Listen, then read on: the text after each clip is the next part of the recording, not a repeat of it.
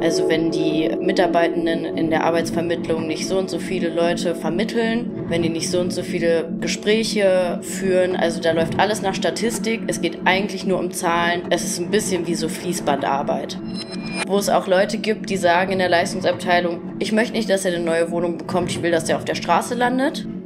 Ach, wenn die keine Lust haben zu arbeiten, dann sollen die doch einfach gar kein Geld bekommen, dann dürfen die von mir aus auch einfach verhungern, dann sollen die halt sterben.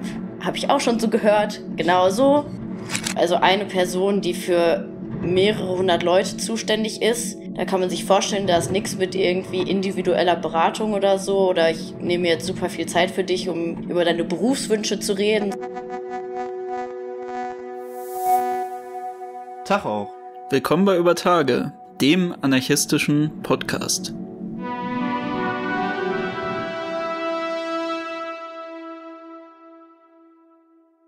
Die Welt der Arbeit ist eine Welt vermittelt durch Euphemismen. Obwohl der Arbeitnehmer die Arbeit gibt, ist er trotzdem sprachlich zum Empfänger der milden Gabe des Arbeitgebers geworden.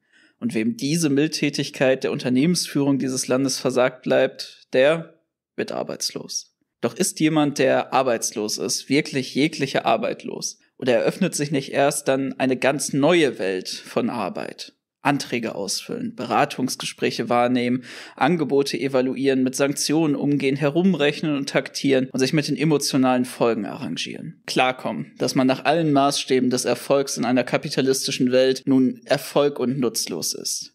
Die Zeitung über ein Schreiben, als sei man Ballast, den man sich für den Höhenflug der Wachstumsrate endlich entledigen muss und man den kalten Schweiß am Rücken spürt bei dem Gedanken, einmal wirklich auf dem Abstellgleis des Arbeitsmarkts dem Verfall überlassen zu werden und nur noch mahnende Erinnerung, wie die verrosteten und verfallenen Fördertürme und Fabriken der ehemaligen Industriestädte für den notwendigen Niedergang im Zuge des Aufstiegs anderer in unserer Ökonomie zu sein. Doch in den Augen anderer sind der Gang zum Amt nicht Spießrutenlauf gespickt mit Schikane und Sanktion, sondern Hohn für jeden, der noch für sein Geld regulär arbeitet einfacher Ausweg für all jene, die es sich gemütlich machen wollen, in der sozialen Hängematte.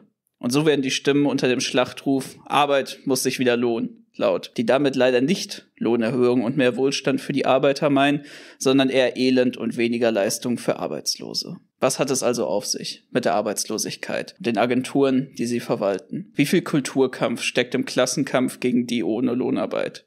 Ist Arbeitslosigkeit wirklich ein so großer moralischer Makel der Bevölkerung, die einfach nicht mehr will oder nicht doch eher eine Folge aus den Gesetzmäßigkeiten des Kapitalismus? Hat die Arbeitslosigkeit und ihre Verwaltung nicht vielleicht sogar einen ertragreichen Nutzen für Staat und Kapital? Und schließlich, was sind Bundesagentur für Arbeit und Jobcenter nun?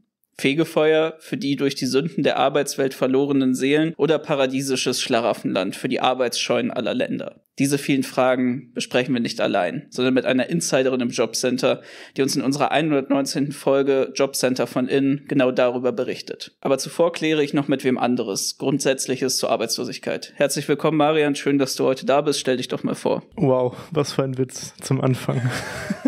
so ein richtiger Türöffner, wo man einfach mal so richtig, ha, ja, das war erheiternd und da kann man einfach so richtig schön äh, die Bindung zum Zuschauer aufbauen, ne? Genau, ich wollte auch, dass es direkt locker ist, dass du dich hier herzlich willkommen fühlst weißt du? Dass du auch so direkt was hast, wo du drauf eingehen kannst. Ich weiß, du bist immer schüchtern vor Aufnahmen. So willkommen wie in einem Gang zum Amt, ne? Das ist das richtige Stichwort. ja, denn wir haben heute eine Folge, die wir in zwei Teile eingeteilt haben. Und zwar einmal in einen Teil, wo Josh und ich mal grundsätzlich über Arbeitslosigkeit im Kapitalismus sprechen werden, weil das haben wir noch nie getan in unserem Podcast bisher, eigentlich kaum zu glauben, weil das so ein wichtiges Thema ist. Aber das werden wir anhand der folgenden Punkte tun. Einmal allgemein, überhaupt, wann ist man arbeitslos, was sind so die aktuellen Statistiken zu dem Thema. Dann sprechen wir über den Nutzen von Sozialhilfe, gefolgt von der staatlichen Verwaltung von Arbeitslosigkeit, um dann überzugehen zu unserem Kern der heutigen Folge, unserem Gastgespräch mit Lia, die im Jobcenter arbeitet und uns einen Insiderbericht geben wird, wird darüber, wie das Jobcenter organisiert ist, über das Verhältnis vom Jobcenter und seinen sogenannten Kunden und zum Schluss das Jobcenter und seine Mitarbeiter. Ja, in diesem Sinne, wir haben einiges vor uns. Starten wir einmal durch mit der Frage, wann man überhaupt arbeitslos ist. Ja, tatsächlich gibt es dafür einfach eine offizielle Definition, die in Deutschland so verwendet wird und die sieht so aus. Arbeitslose sind Arbeitssuchende, die vorübergehend nicht in einem Beschäftigungsverhältnis stehen, eine versicherungspflichtige Beschäftigung von mindestens 15 Stunden wöchentlich suchen, den Vermittlungsbemühungen der Agentur für Arbeit oder des Jobcenters zur Verfügung stehen und sich bei einer Agentur für Arbeit oder einem Jobcenter persönlich arbeitslos gemeldet haben und damit als registrierte Arbeitslose geführt werden. Darüber hinaus muss die Person in der Bundesrepublik Deutschland wohnen, darf nicht jünger als 15 Jahre sein und die Altersgrenze für den Renteneintritt noch nicht erreicht haben. Und genau diese Definition fallen 2023 im Schnitt 5,7 Prozent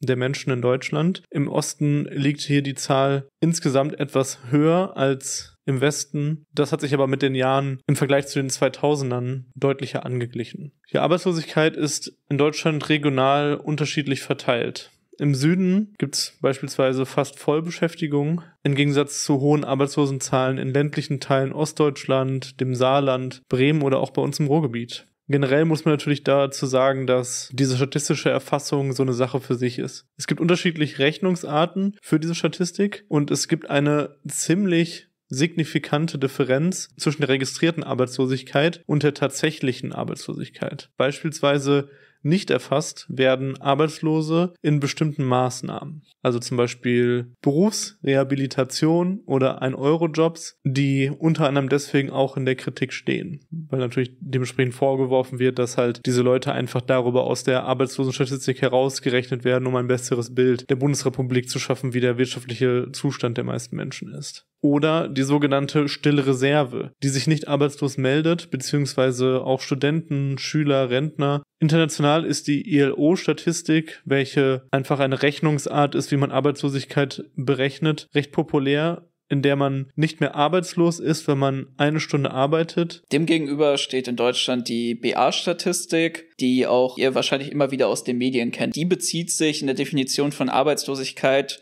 auf die Definition, die wir am Anfang der Folge auch genannt haben. Das heißt, hier geht es dann eben um sozialversicherungspflichtige Beschäftigung über 15 Stunden, ab denen man dann eben nicht mehr als arbeitslos gilt. Also sieht man auch tatsächlich, es gibt auf der einen Seite diese ganzen Schönungsmaßnahmen, wie wir ähm, gerade schon angesprochen haben mit den 1-Euro-Jobs. Auf der anderen Seite wird aber im internationalen Vergleich in Deutschland schon recht streng gemessen. Aber jetzt haben wir schon ein bisschen drüber geredet, wie das Phänomen Arbeitslosigkeit gemessen wird, dann lass uns doch jetzt mal drüber reden, wie entsteht eigentlich Arbeitslosigkeit. Das ist auf der einen Seite die sogenannte friktionale Arbeitslosigkeit, die wohl am wenigsten kritisch gesehene Form von eben dieser, welche unvermeidlich beim Wechsel von einem Job in den anderen eintritt. Also hier kommt es ja in der Regel dann einfach zu einer sehr schnellen Arbeitsvermittlung am neuen Wohnort oder von eben qualifizierten Arbeitskräften, die dann einfach in den nächsten Job reinwechseln. Da gibt's ja dann auch Leute, die wirklich nur ALG 1 beziehen, die noch gar nicht im Bürgergeldbezug drin sind, insofern sie lang genug für ALG 1 gearbeitet haben, die dann einfach wieder weitervermittelt werden. Und das ist ja auch wirklich was, das werden wir noch in der Definition von Vollbeschäftigung sehen, dass das auch mit eingerechnet wird. Ja, dann saisonale Arbeitslosigkeit. Die hat eine sehr, sehr starke Auswirkung auf die Statistik und entsteht halt zum Beispiel durch branchenbedingte Ausfälle von Arbeitsaufträgen und Entlassungen oder bei Kündigungswellen zu bestimmten Jahreszeiten, beispielsweise in der Baubranche, bei Saisonarbeitskräften, sicherlich auch sehr prägnant in der Tourismusbranche. Hier gibt es Maßnahmen von Saison Kurzarbeitergeld, früher Schlechtwettergeld. Auf jeden Fall sehr passend.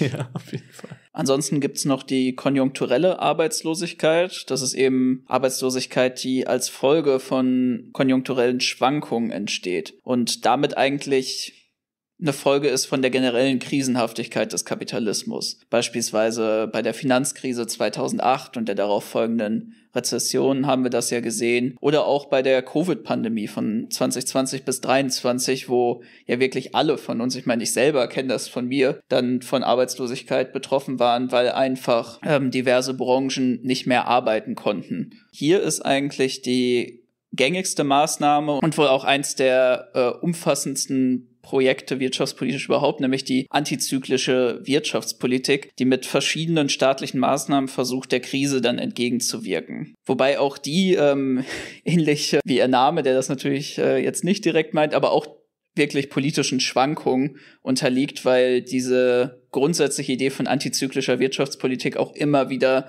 in Kritik geraten ist und nach, also wirklich abhängig von den Krisen dann auch populärer und weniger populär wurde. Zusätzlich dazu gibt es eigentlich auch noch so direkt wirkende soziale Maßnahmen. Während Corona und dem Ukraine-Krieg ist beispielsweise die Kurzarbeit ins öffentliche Bewusstsein gerückt und die Bundesagentur für Arbeit unterstützt eben dieses Konzept von Kurzarbeit durch das Kurzarbeitsgeld, wodurch dann auch wieder ermöglicht wurde, dass Leute in einem Betrieb eben gehalten werden konnten, die Arbeitslosigkeit zumindest statistisch nicht gestiegen ist, während jetzt die Unternehmen dann eine problematische Auftragslage hatten. Ja, und zum Schluss sprechen wir noch über die strukturelle Arbeitslosigkeit. Und das ist wohl auch die generell signifikanteste Form von Arbeitslosigkeit. Und die entsteht erstens durch den Wandel der vor Ort tätigen Unternehmen, Beispielsweise, so kennen wir das hier bei uns im Ruhrgebiet, durch die Deindustrialisierung, wo dann viele, die vorher in einer Branche tätig waren, dafür ausgebildet wurden, mehrere Jahre Berufserfahrung hatten, plötzlich arbeitslos werden, weil die Unternehmen abwandern und die finden dann in den neu angesiedelten oder sonstigen Unternehmen eben keine Arbeit mehr. Das ist auch eigentlich der größte Faktor, warum wir hier eben im Ruhrgebiet so hohe Arbeitslosenzahlen hatten. Das ist auch was, was ich selber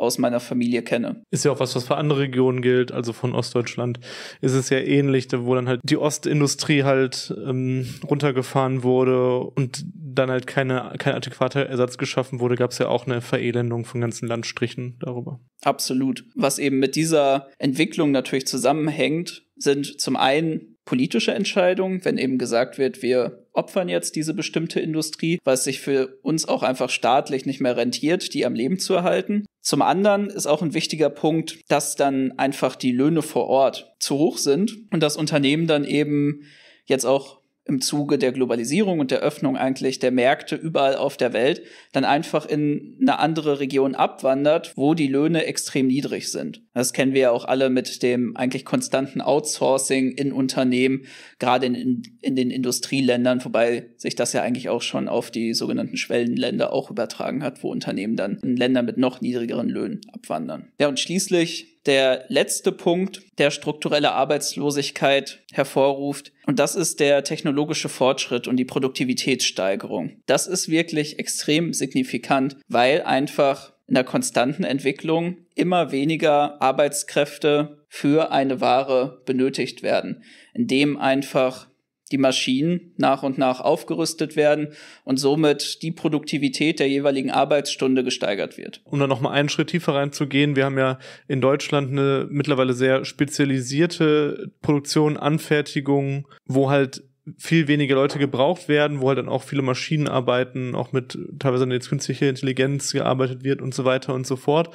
Aber gleichzeitig haben wir ja trotzdem eine große Produktion im Niedrigsektor, der halt ausgelagert ist in andere Länder. Also eben unsere ganze Kleidung, die halt in Bangladesch, in China und was weiß ich, wo hergestellt wird, da arbeiten ja überall noch Menschen dran, aber das ist halt eben eine Form von Arbeitskraft, die hier in der Form für den Kapitalismus nicht mehr rentabel ist und deshalb wird sie jetzt halt woanders erledigt. Also diese klassische Fließbandarbeit, klar gibt's noch punktuell, zum Beispiel in der Autoindustrie oder so, aber auch da ist es ja schon komplexer und da wird ja auch damit mit ähm, Robotern teilweise zusammengearbeitet oder so. Ja, absolut richtig. Da sehen wir ja auch eigentlich immer mal wieder, gerade auch bei diesen Konzernen wie in der Automobilindustrie oder auch in anderem noch produzierenden Gewerbe in Deutschland, dass da eigentlich auch konstant immer wieder Stellen abgebaut werden, weil einfach mehr und mehr Schritte automatisiert werden können. Die Leute werden dann darauf umgeschult und wie gesagt, die Arbeitsstunde wird einfach produktiver. Und das ist wohl auch der relevanteste Punkt für die generelle Entwicklung und Grundlage für Arbeitslosigkeit. In der marxistischen Analyse von Arbeitslosigkeit wird das dann eben mit der sich verändernden Wertzusammensetzung des Kapitals beschrieben. Also es gibt eine Zunahme des Anteils konstanten Kapitals, den Produktionsmitteln, wie wir gerade schon beschrieben haben, einfach der Fortschritt der technologischen Entwicklung, die Produktivitätssteigerung und einem Rückgang dadurch dann auch des Anteils des variablen Kapitals, der Arbeitskraft. Es werden einfach weniger Arbeiter für die Arbeitsschritte benötigt. Und das ist einfach wirklich eine grundlegende Entwicklung in Gesellschaften, die technologischen Fortschritt verzeichnen. Das kann natürlich auch immer zu einer Stagnation kommen, aber im Endeffekt wird diese Entwicklung immer mit laufendem Wirtschaftswachstum für dann auch schließlich mehr Arbeitslosigkeit sorgen. Vielleicht noch eine kleine Anmerkung, weil das finde ich ganz interessant, wenn man mal drüber nachdenkt, dass es trotzdem sein kann, dass obwohl wir eigentlich diesen konstanten Fortschritt mit der technologischen Entwicklung haben, wir einfach in den Industrieländern durch die geringen Fertilitätsraten und die fehlenden Arbeitskräfte ja einen Bevölkerungsrückgang haben und ähm, wenn jetzt nicht bestimmte Faktoren wie eine hohe Migration das dann ausgleichen können, wir dann trotzdem eigentlich eine, entgegenge eine entgegengesetzte Entwicklung zu dem technologischen Fortschritt haben.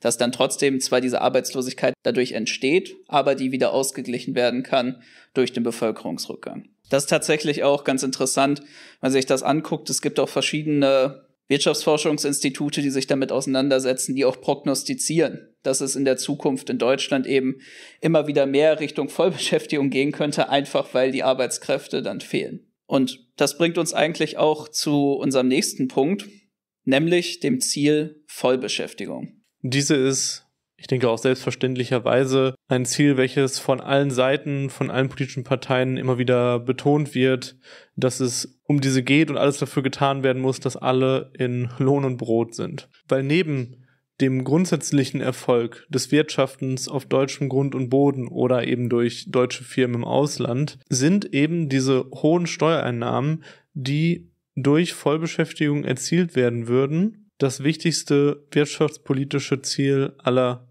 Fraktionen. Wir alle wissen, wie immer wieder in öffentlich-rechtlichen Medien über Arbeitslosigkeit diskutiert wird und die Statistiken als Indikator für, für die generelle Lage der Nation und den Erfolg der aktuellen Regierung beschworen wird. Historisch wurde die Vollbeschäftigung auch immer als selbst bei stark kritisierten Teilen deutscher Geschichte positiv vermerkt. Zum Beispiel Hitler 1939 durch den Reichsarbeitsdienst beziehungsweise Zwangsbilligarbeit durch deutsche junge Männer. Als Fun Fact, diese erbrachten nur 50 Prozent der Arbeitsleistung im Vergleich zur Privatwirtschaft. Also primär ging es hier eigentlich um eine erzieherische Funktion und eine Remilitarisierung der Gesellschaft, die diese auf den herbeigesehnten Krieg vorbereiten sollte. Das vielleicht auch mal als Anmerkung an all die, die immer so ein bisschen Träumereien haben über den Nutzen von Zwangsarbeit. Wenn man sich das historisch anschaut, war das fast immer im Gegensatz zu der regulären Lohnarbeit einfach eine ziemlich unproduktive Geschichte. Ich meine, man kennt es ja selbst von den Arbeitseinsätzen in äh, sozialistischen Ländern, wenn da irgendwie so Hilfsarbeiten in so einem Internationalismus passiert ist. Da hatten wir auch, glaube ich, zum Beispiel in unserer Folge über äh, Nicaragua mit ähm, dem Genossen damals gesprochen, die dort dann halt so ähm, freiwillig eben in Form von internationaler Unterstützung dorthin gefahren sind und bei der Kaffeeernte geholfen haben. Er halt meinte so, ja, das war halt was wir da gemacht haben, wir standen halt meistens eher der Arbeit im Wege, also als dass wir da jetzt wirklich geholfen haben. Und da ging es halt mehr um andere Faktoren, wie zum Beispiel, dass halt einfach Europäer da sind, die man halt nicht einfach so wegmetzeln kann, wie jetzt halt die Einheimischen. Und so hat also so eine, so eine Form von Arbeitseinsatz immer eigentlich eine andere Funktion, als dass es jetzt hier wirklich um einen wirtschaftlichen Erfolg geht. Ja, aber hierbei meint Vollbeschäftigung nicht wie manchmal angenommen, dass jeder arbeitet, sondern dass die Arbeitskräfte auf nationaler Ebene maximal genutzt werden, beziehungsweise die Zahl der offenen Stellen mit denen der Arbeitslosen übereinstimmt oder sie übersteigt. Zahlenmäßig wird hier je nach Staat beziehungsweise auch nach Jahrzehnt die statistische Definition von Vollbeschäftigung unterschiedlich angegeben. Beispielsweise war in Westdeutschland zur Zeit des Wirtschaftswunders ein Prozent in den 90ern, vier bis fünf Prozent und als immer wieder antreffender Durchschnittswert mit zwei Prozent Arbeitslosenquote angegeben, um diese Vollbeschäftigung zu erreichen. Tatsächlich aber wäre eine absolute Vollbeschäftigung gar nicht wünschenswert, denn wie wir jetzt sehen werden, hat die Arbeitslosigkeit diverse Nutzen für den Kapitalismus. Erstmal sei noch mal einmal daran erinnert, wie wir es schon gesehen haben, mit der friktionellen Arbeitslosigkeit, dass die einfach eine immer existente Folge aus der Dynamik der wirtschaftlichen Entwicklung ist. Aber auch die anderen Formen von Arbeitslosigkeit werden jetzt mal ausgenommen von wirklich besonders stabilen Jahren, von denen es in Deutschland ja auch äh, immer weniger gibt und auch nur in bestimmten Regionen der Welt einfach generell signifikant fortexistieren. Und wenn das eben so ein Fakt ist, dann lass uns doch mal anschauen, was denn genau diese diversen Nutzen von einmal Arbeitslosigkeit, aber vor allem auch der Verwaltung im Jetzt davon sind. Denn die Auszahlung von Sozialhilfe wie dem Bürgergeld hat nicht nur, wie es häufig dargestellt wird, humanistische oder altruistische Beweggründe. Weil man einfach den Leuten mal ein bisschen hier über eine schwierige Zeit helfen möchte oder weil man es einfach nicht ertragen kann, dass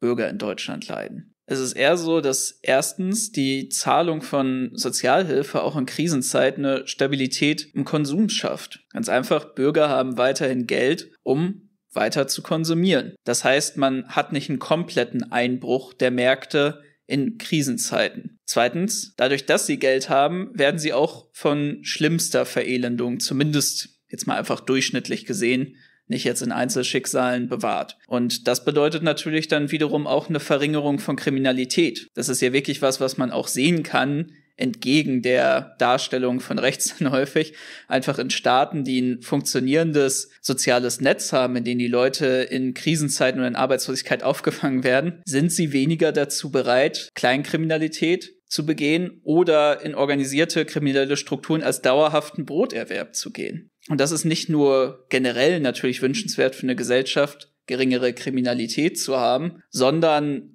ist auch einfach ein Kostenfaktor. Wenn man sich anschaut, wie unfassbar viel Geld in Sicherheitsstrukturen gesteckt werden muss und wie teuer das auch ist, Leute ins Gefängnis zu stecken. Und auf der anderen Seite verringert es natürlich auch das Elend auf der Straße.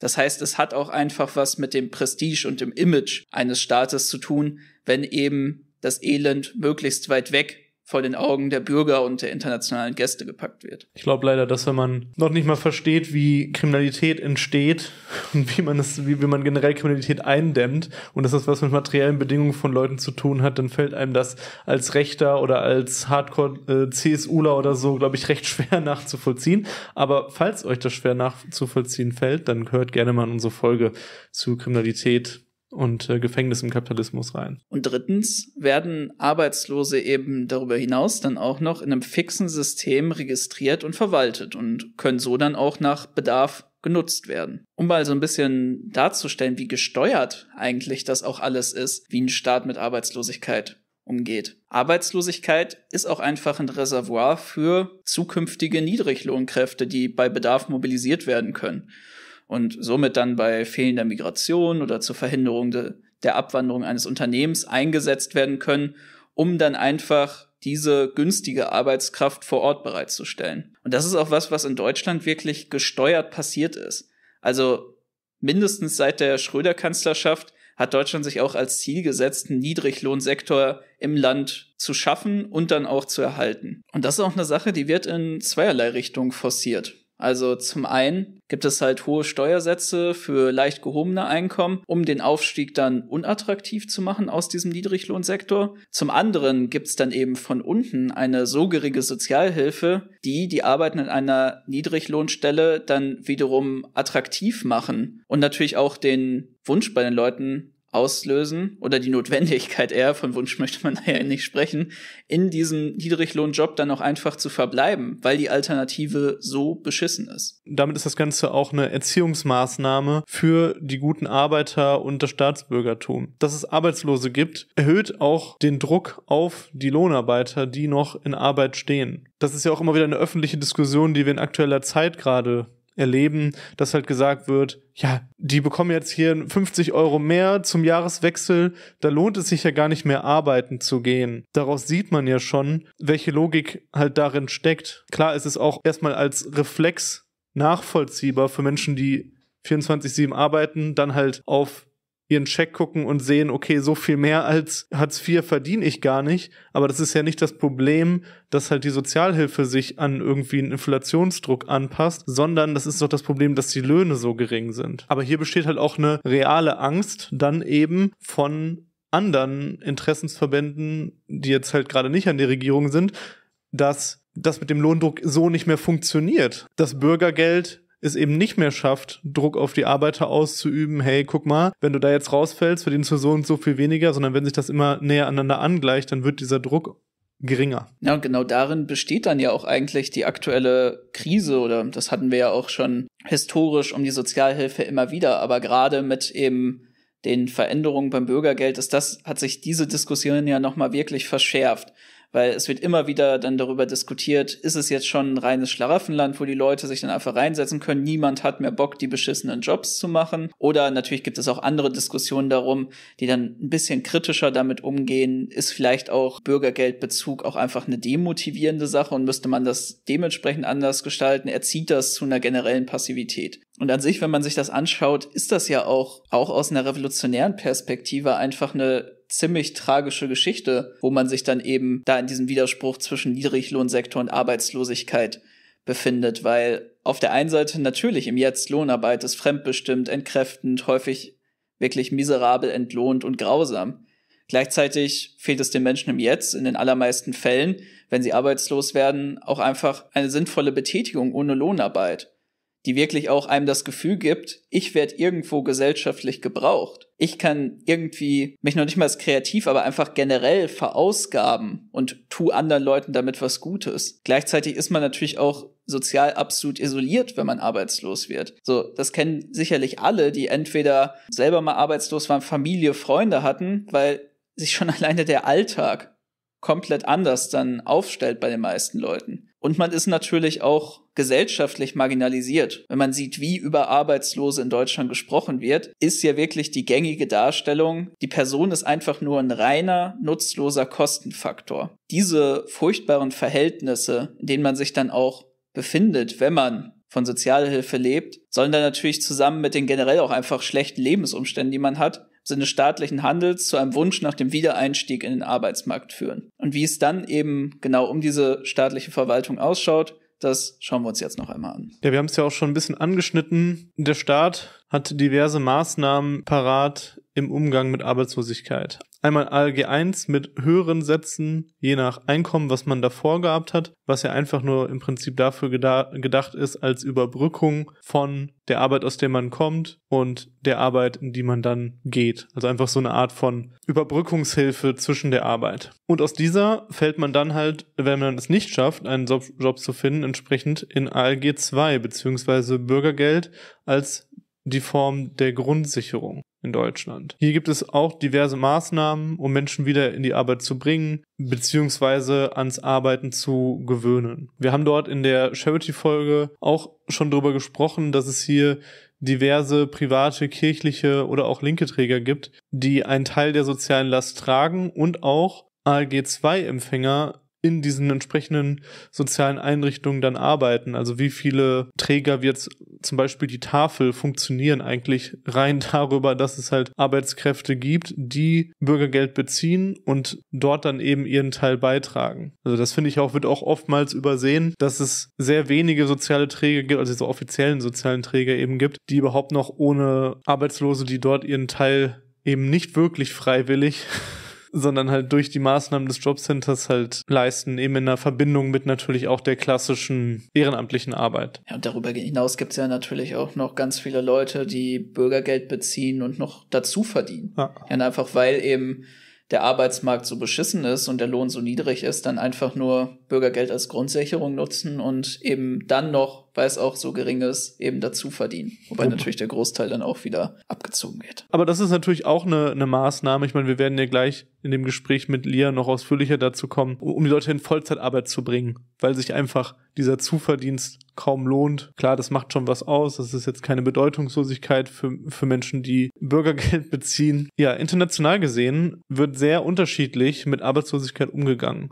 In Deutschland gibt es ja auch gerade wieder sehr starke Diskussionen über die Tragweite der Sozialleistungen. Also wir sprechen halt auch heute hier in der Folge über die deutschen Zustände. Es wäre sicherlich auch nochmal spannend, sich dann zum Beispiel Mittwochs-Livestream in Anschluss an diese Folge nochmal darüber auszutauschen, wie das Ganze in anderen Le Ländern geregelt wird und was es dazu zu sagen gibt und auch vielleicht, wie man das miteinander ins Verhältnis setzen kann zu dem, was in Deutschland passiert. Ja, und gerade dieser internationale Vergleich stiftet ja wirklich sehr viele Politiker in Deutschland dazu an, dann das Sozialsystem hier als besonders gut oder als sogar zu gut darzustellen. Da im Zentrum der Diskussion steht natürlich aktuell das Bürgergeld. Wir hatten es ja auch gerade schon angesprochen. Die große Frage ist jetzt immer, lohnt sich eine Vollzeit-Mindestlohnstelle überhaupt noch im Vergleich zum Bürgergeld? Und da wird jetzt äh, von ganz vielen Seiten ganz viel rumgerechnet, ob das jetzt so ist, ob das nicht so ist. Rechte kommen dann bei ihrer Rechnung auf ein klares Plus. Bei der Wahl Bürgergeld statt reguläre Stelle, Linke und Linksradikale versuchen dann zu errechnen, dass man immer noch 100, 200 Euro mehr in der Tasche mit Arbeit hätte. So oder so ist aber klar, und das meine ich jetzt mal ganz abseits von dem, was wir dazu denken, rein staatlich gesehen, gibt es hier einfach eine Krise und Reformbedarf, da es tatsächlich einen Mangel im Niedriglohnsektor gibt und der Unmut in der Bevölkerung über diese Ungerechtigkeit stärker wird, die dann eben auch nur natürlich diese schwindende Grenze nach ganz unten zum absoluten Boden der sozialen Verhältnisse sehen.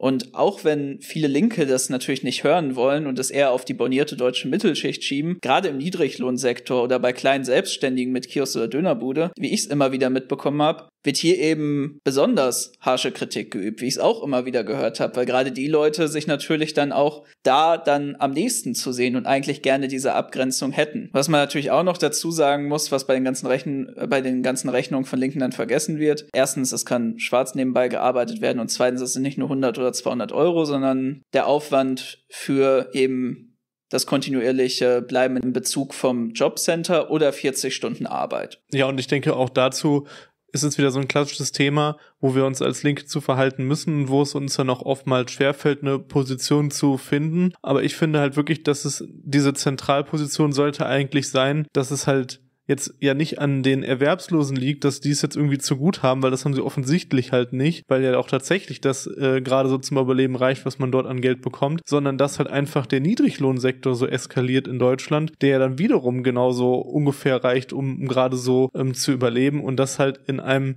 der nominell reichsten Länder der Welt. Aber ich finde es trotzdem logisch und nachvollziehbar, dass diese Diskussion auch in größeren Teilen der Arbeiterklasse auch reaktionär geführt wird, weil nun mal noch weiter nach unten abzurutschen viel näher ist, als nach oben hin aufzuschließen. Also man ist halt, um das jetzt ein bisschen äh, vulgär zu sagen, näher an der Straße als an den Millionen. Und deswegen ist es ja auch klar, dass hier halt solche Rechnungen gemacht werden, wo es dann um, um ein paar hundert Euro halt geht. Und da, da müssen wir halt dann eben ganz klar machen, sowohl das, was ich gerade gesagt habe. Es liegt an der Lohnentwicklung und nicht, dass es mal 50 Euro mehr für Erwerbslose gibt. Und es liegt an den Reichen, die halt diesen großen Niedriglohnsektor brauchen, um in der Konkurrenz zu anderen Staaten eben weiter ihre fetten Gewinne abgreifen zu können. Und ich finde, wie wir auch jetzt in den Punkten schon gesehen haben, ist es auch einfach wichtig, im Hinterkopf zu behalten, dass es immer in dieser ganzen Frage Arbeitskämpfe, gewerkschaftliche Organisierung, Sozialhilfe, Arbeitslosenorganisierung einfach diesen ja leider sehr tragischen Widerspruch geben wird, dass einfach nach allen Maßstäben, mit denen man in Deutschland, aber in jedem kapitalistischen Land sozialisiert wird, das wird ja gerne auch einfach so kulturell jetzt irgendwie auf die deutsche Kultur oder so geschoben von Linken, was einfach komplett behämmert ist, weil es ist natürlich logisch, in einem kapitalistischen System wird einfach arbeitslos zu sein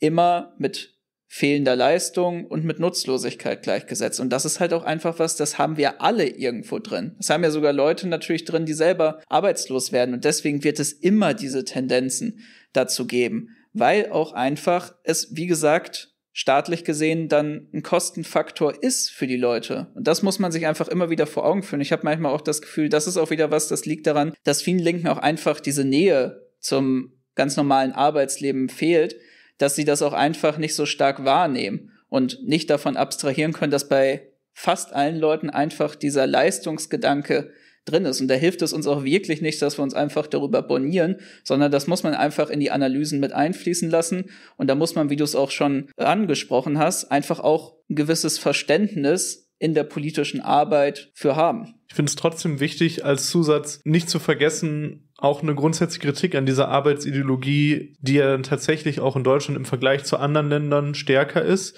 auch wenn es jetzt, auch wenn es jetzt halt bei weitem nicht so ist, dass es hier nur in Deutschland der Fall ist und dass es nicht andere Länder gibt, wie zum Beispiel in Japan, wo es halt nochmal auf einem ganz anderen Level ähm, stattfindet. Aber das auch zu hinterfragen, nicht die soziale Realität zu verkennen, in der die Menschen leben und überleben müssen mit der Lohnarbeit, und sich darum irgendwie zu erheben und den Leuten halt irgendwie da vorzuschreiben und sich da so arrogant zu verhalten, wie es halt viele Linke tun. Aber trotzdem war auch der anarchistische Kampf immer auch schon ein Kampf gegen die Lohnarbeit an sich und gegen dieses Dogma, was dahinter steht, sich halt verkaufen zu müssen und an alle die Auswege daraus zu finden, als wertlos darzustellen ja quasi, auch wenn das Wort jetzt bisher zum Glück noch nicht in der Debatte gefallen ist, aber eigentlich als Parasiten darzustellen, die halt an den werktätigen Massen hängen, die hier irgendwie ihr Lohn und Brot erstreiten und das andere faule Pack, das lebt halt nur von der Arbeit der anderen. Und das dürfen wir halt auch nicht vergessen, wie sozialisierend das halt ist. Trotzdem muss man das halt auch sensibel vermitteln und sensibel diskutieren, gerade weil es so relevant ist und gerade weil es halt einfach die alltägliche Realität der Menschen darstellt, aus der sie auch nicht so ohne weiteres herauskommen. Natürlich. Und ich meine, wenn wir in die Zukunft schauen, ist es ja auch einfach so, dass sich sehr viel auch arbeitstechnisch natürlich noch verändern wird. Wie gesagt, wir haben natürlich auch die Tendenz dazu, wie wir schon angesprochen haben, mit dem Bevölkerungsrückgang. Da kann es auch gut sein, dass sich das dann darauf auswirkt, dass trotzdem noch weiterhin wir eine sehr hohe Beschäftigungsquote haben, aber wir wissen auch nicht, wie sich das mit künstlicher Intelligenz, mit Automatisierung weiterentwickeln wird. Und irgendwann werden wir auch mit einem ausreichenden technologischen Fortschritt natürlich Arbeit generell noch viel mehr überdenken müssen. Und ich glaube auch, dass sich das gesellschaftlich ab irgendeinem Punkt weiter durchsetzen wird. Aber bis dahin ist es natürlich ganz wichtig, dass das, was wir jetzt gesagt haben, wir diese ganzen Überlegungen zu der Sozialisierung und dem Verständnis und der Wertzuschreibung von Arbeit einfach dabei im Kopf behalten. Und vielleicht abschließend eine Sache, die mir auch noch dazu einfällt, die ich glaube, die auch sehr relevant dafür ist, wenn eben über Geldbezug ohne Arbeit gesprochen wird. Ist es auch einfach so, dass Bürgergeldbezieher, Arbeitslose für die meisten Leute einfach viel näher sind als jetzt beispielsweise der Aktionär, der Vermieter, Inzwischen wird das ja sehr selten nur noch privat gemacht, sondern du hast die großen Immobilienfirmen, die das machen. Und wenn man dann eben darüber spricht, Arbeit, Entlohnung, Entlohnung ohne Arbeit, dann ist das, was den Leuten natürlich aus dieser Ideologisierung um das Thema Arbeit immer als erstes einfach einfällt, der Arbeitslose von nebenan. Weil das ist die Person, die man kennt. Es ist ja auch beispielsweise so beim Bürgergeld, diskutiert ja auch wirklich niemand darüber, dass der allergrößte Teil, der allergrößte Teil von dem Geld, der für Arbeitslose aufgewandt wird, ja einfach direkt wieder in die Taschen von den Vermietern fließt. Das ist eine viel höhere Zahl als das, was für die Leute ausgegeben wird, was sie tagtäglich verkonsumieren. Aber das interessiert natürlich die Leute nicht wieder in dem gleichen Maß, weil es ist auch erstens ein Schritt natürlich weiter und es ist einfach nicht so nah von der Person, über die man spricht. Und ich glaube, diese Nähe dazu, das ist was, was es auch so einfach macht, dieses Thema Arbeitslosigkeit so einfach populistisch aufzugreifen. Ja, umso wichtiger finde ich es da einfach immer klar zu haben, dass wir unsere Agitation gerade gegen die eigentlich vor allen Dingen unproduktiven Teile unserer Gesellschaft richten, gegen die Bosse, gegen die Kapitalisten, die eben von unserer Arbeitskraft leben, die nicht ohne uns überleben könnten und da halt auch wieder zu einer zu einer ganz klassischen Argumentation zurückzufinden, um halt diese diese wirklich falsche Finte, die uns da die bürgerliche Presse legt, die uns da die Kapitalisten legen, um uns gegeneinander aufzuspielen, zu entgegnen. Wir haben also gesehen, die deutsche Sozialhilfe befindet sich in einer Dauerkrise. Politiker und Medien beschwören Arbeitslosigkeit immer wieder als das größte Problem, was Deutschland plagt.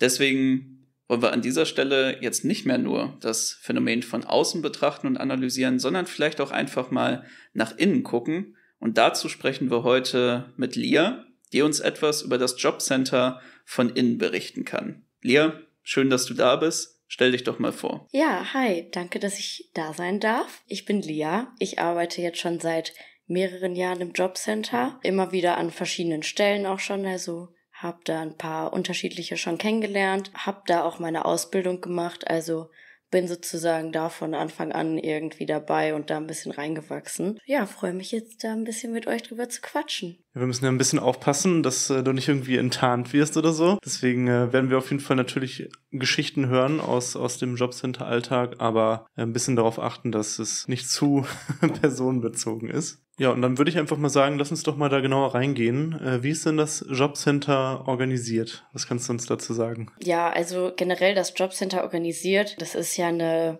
Zusammenarbeit der Kommune, also der Stadt und der Bundesagentur für Arbeit wird auch irgendwie oft verwechselt oder man denkt, das ist das gleiche Bundesagentur für Arbeit, Jobcenter, aber das ist nicht so. Also Jobcenter ist wirklich nur Arbeitslosengeld 2, also das Bürgergeld, wie es jetzt heißt. Ja, genau. Entweder es wird halt von der Kommune und der BA zusammengeführt oder es gibt auch Optionskommunen heißen die, das wird dann nur von der Kommune geführt. Das ist dann manchmal, also das macht die Sache schon ein bisschen komplizierter, weil die Kommunen Die arbeiten nicht mit den gleichen Programmen, mit denen wir arbeiten. Wir haben andere Programme. Das heißt, die Leute können schon mal in Bezug gewesen sein in irgendeiner anderen Stadt, kommen dann zu uns. Also es muss alles ganz von vorne gemacht werden, weil es halt ganz anders ist und wir haben halt keine Einblicke in die Daten. Das ist immer manchmal ein bisschen schwierig. Aber ich glaube, grob kann man dann noch so sagen, dass die Jobcenter natürlich, die halt mit der BA geführt werden, die wichtigsten Abteilungen sind da auf jeden Fall die Arbeitsvermittlung, die gibt es einmal als so ein Kern. Dann gibt es die Leistungsabteilung, das ist halt getrennt voneinander, wo dann einfach, genau in der Leistungsabteilung natürlich es darum geht, die Anträge zu bearbeiten und alles, was so mit Geldleistungen zu tun hat. Dann die Arbeitsvermittlung, die dann halt dafür zuständig ist, da die Kunden und Kundinnen, wie, sie, wie wir sie nennen, ähm, in Arbeit zu vermitteln oder halt in bestimmte Maßnahmen und die wieder fit für den Arbeitsmarkt zu machen. Genau, dann gibt's natürlich noch verschiedene Teams dazwischen. Kommt immer drauf an, von Jobcenter zu Jobcenter. Da gibt's noch ganz oft irgendwelche Sonderteams, die zum Beispiel für Geflüchtete zuständig sind, alleine, die für Obdachlose zuständig sind. Dann gibt's eigentlich immer eine Abteilung für Menschen mit einer Schwerbehinderung, dass da halt sozusagen Teams spezialisiert sind, die halt dann in den Arbeitsmarkt wieder zu integrieren. Und warum gibt es diese Aufsplittung nach eben Bundesagentur für Arbeit und dann Jobcenter eben diese Mischung aus kommunalem Träger und BA und dann nochmal, wie du gesagt hast, diese komplett kommunalen Konzepte. Warum ist das so aufgespalten? Das weiß niemand. Ja. Das fragen wir uns auch. Okay, also das macht euch und den Leuten einfach nur das Leben schwer. Ja, genau. Sehr schön. Also wir sehen schon, die Organisation von Jobcenter, Bundesagentur für Arbeit lässt sicherlich zu wünschen übrig. Was sind denn die Ziele, die intern euch vorgegeben werden? Wie wird auch so für euch dann die Aufgabe vom Jobcenter dargestellt? Ja, also von den wirklich irgendwie Bereichsleitern, Geschäftsführung ist natürlich das Wort Kundenorientierung immer das Allerwichtigste. Bei uns soll es sozusagen eigentlich auch heißen, der Kunde ist König. Kann man jetzt sehen, wie man möchte so verhalten tun sich die wenigsten, muss man sagen. Ich glaube, das ganze Konzept ist jetzt auch eigentlich nicht dafür gemacht, irgendwie wirklich kundenorientiert zu sein, aber das ist eigentlich immer das, was uns so gesagt wird. Und natürlich alles, worauf wir irgendwie hinausarbeiten, ist halt die Arbeitslosigkeit zu beenden. Also entweder den Leistungsbezug zu beenden oder halt die Arbeitslosigkeit. Das wird halt auch natürlich mit allen Mitteln und Wegen irgendwie gemacht. Also da kann man sich auch die Arbeitsvermittlung angucken. Da würde man ja eigentlich vielleicht erwarten, dass es darum geht, die Leute wirklich irgendwie gut auszubilden, weiterzubilden, vielleicht auch Berufswünsche wahrzunehmen. Das ist aber eigentlich kaum möglich. Also so viele ähm, Menschen, die das Jobcenter betreut, da kann man wirklich schlecht auf die Einzelnen individuell eingehen. Und es ist tatsächlich auch in der Arbeitsvermittlung einfach so, dass da nach Zahlen gearbeitet wird. Also wenn die Mitarbeitenden in der Arbeitsvermittlung nicht so und so viele Leute vermitteln, wenn die nicht so und so viele Gespräche führen, also da läuft alles nach Statistik. Es geht eigentlich nur um Zahlen. Es ist ein bisschen wie so Fließbandarbeit. Also es werden die Leute einfach eingeladen, dann werden kurze Gespräche mit denen geführt und dann weiter geht's. Was passiert denn, wenn die Quote, sag ich jetzt mal, einfach nicht erfüllt wird? Oder gibt's dann sogar eine Positivverstärkung, dass man dann eine Provision bekommt, wenn man besonders viele Leute vermittelt? Gibt's vielleicht irgendwie so, so ein bisschen DDR-Style, irgendwie so, so die besten Mitarbeiter des Monats, wie viel habe ich für, für, äh, aus der Arbeitslosigkeit geführt? Gibt's den Edeka Geschenkkorb? Ich glaube, leider gibt's, äh, was heißt leider, zum Glück gibt's sowas nicht. Also ich denke mal, wenn da die Zahlen nicht so ganz stimmen, dann wird's vielleicht mal einen auf den Deckel kriegen vom, äh, von der Führungskraft. Aber da wird jetzt nicht irgendwie gemessen, wer ist jetzt der Beste, wer nicht. Also ich hab's, ich hab's nicht so mitbekommen. Ich weiß nicht, vielleicht gibt's das irgendwo. Wundern wird's mich nicht. Also die Jobcenter sind also auf Massenabfertigung ausgerichtet. Das heißt, dann wird's ja auch ziemlich grobe, sag ich mal, Beratungsschemata, Konzepte geben, die immer wieder angewandt werden. Kannst du uns ein bisschen darüber was sagen, wie genau das ausschaut, wie sich das vielleicht dann auch ähm, von Land zu Land unterscheidet? Genau, also das unterscheidet sich tatsächlich von Jobcenter zu Jobcenter. Ah. Also ich habe schon in mehreren gearbeitet und habe wirklich da auch immer komplett unterschiedliche Sachen erlebt. Das Schwierigste ist halt immer natürlich, äh, was jetzt auch der Corona-Pandemie ein bisschen geschuldet war, dass da die Jobcenter komplett geschlossen wurden, dass man vorher natürlich immer einfach persönlich vorsprechen konnte man hat sein Problem geschildert und dann wurde es eigentlich auch auf direktem Wege irgendwie versucht zu lösen.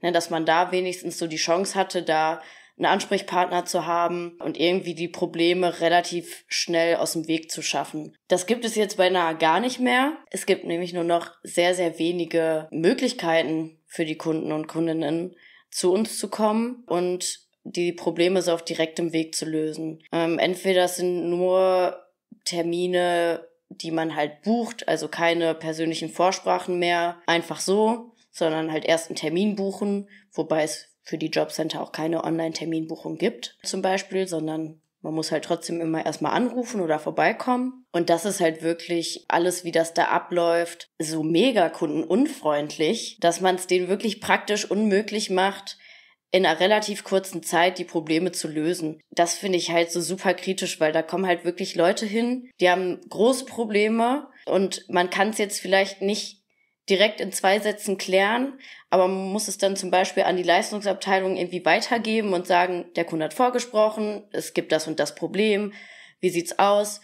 In manchen Jobcentern ist es so, dass man dann zum Beispiel auch, also die Menschen, die halt im Kundenportal heißt das bei uns arbeiten, die halt sozusagen ja so ein bisschen die Informationen an Kunden und Kundinnen weitergeben, die so ein bisschen die Ansprechpartner sind und da dann ein bisschen rumtelefonieren. Das ist in manchen Jobcentern, kann man das gut machen. Da kann man dann auch relativ viel, wenn man da motivierte Leute sitzen hat, kann man da auch schon ein bisschen was schaffen und den Leuten ein bisschen helfen. Aber ja, in manchen Jobcentern ist sowas gar nicht gewünscht. Das heißt, äh, man steht da und die Leute sagen einem, ja, ich habe hier irgendwie ein Problem, ich habe jetzt irgendwie drei Monate schon kein Geld bekommen, ich habe kein Essen, meine Miete wurde nicht bezahlt und du sagst, ja, ich gebe das dann mal weiter.